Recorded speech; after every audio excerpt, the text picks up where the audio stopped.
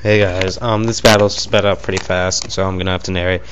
Um, this is worth LG Jetlag. He starts with the Starmie and it disconnects. So, um, yeah, you see me about to start to reconnect.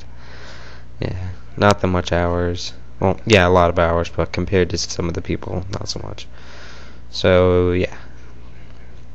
Here we go. So, he's not even on back on yet. So just waiting for him. There's Mike because I was trying to have a battle with him before, or maybe it was that was after. I don't remember, but um, yeah. Here comes Jetlag. And okay, so the battle started. Um, I figured his Starmie wouldn't. I, I figured it would outspeed me, but I didn't have any safe switch in, so I just, you know, took out the Starmie with the Shadow Ball. I know narrating a battle is kind of stupid, and it is, in my own opinion, pretty stupid, but, um, yeah, I, I don't feel like getting music files, so yeah.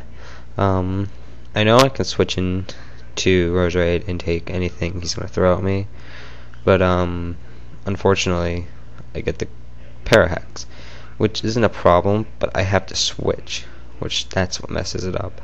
And, um, I guess you can see how a little bulky this Gengar is. That's why it's a Gengar. And I thought, you know, to some chance I might be able to outspeed the Jolteon, but I was completely wrong, and that was sad.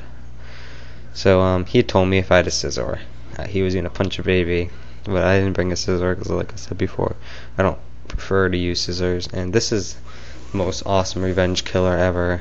Scarfed Roserade, Leaf Storm, freaking just awesome. Get away, cat. Sorry, my cat was coming near me. And, um, yeah. So he figured it was Scarf since it was a Jolteon. And I figured the Psychic was coming, and I guess he figured, I figured that was Scarf too. So, he's switching his on.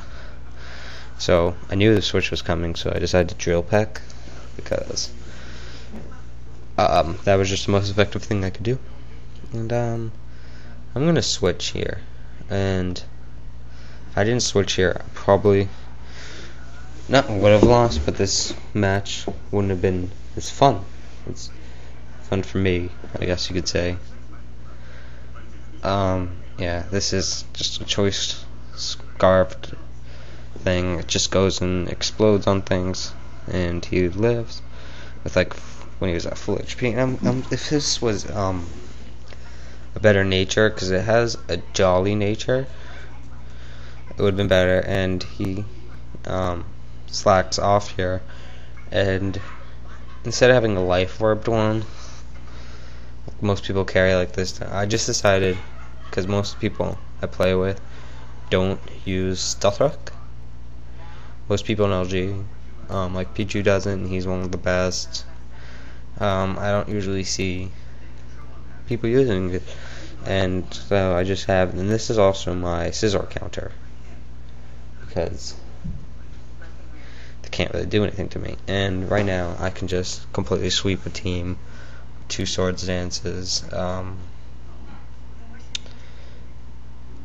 extreme speed oh sorry I wasn't paying attention. Extreme speed is just gonna KO anything it's not a wall or resistant and anything that usually is a wall resistant I could probably outspeed so, yeah. It's going to take the ape out. Even if it had a sash, which I thought it did, it was going to get taken out anyway. Um, greed. It's going to get taken out. It was, it was a good game, chat. Um, I guess you weren't expecting a sash or me to Swords Dance.